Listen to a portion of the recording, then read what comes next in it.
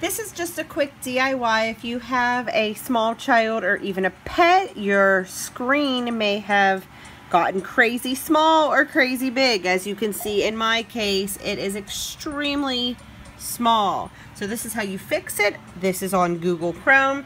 You just go to the top right hand corner. You will see a little magnifying glass. It says zoom 500%.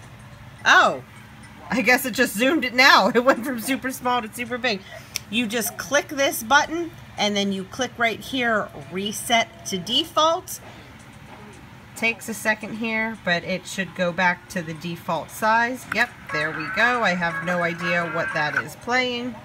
Um, also, just so you manually know, if you go on the top right and you hit these three lines, right here where it says zoom, this is where you can adjust the zoom, but of course I'm going to keep it at 100%. So that is how you adjust the page size on Google Chrome. Thank you for watching.